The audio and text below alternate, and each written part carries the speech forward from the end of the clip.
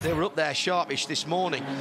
Just think Dries maybe got a little bit too close to the back of the Porsche. And after that, he was fighting. His teammate comes through, has to lift off, gets the rear end loose. Might have even got a little tap, uh, unintentionally, of course, from Dries. And after that, I'm afraid that's all she wrote for the 22 and Garth Tander. Listen to the throttle.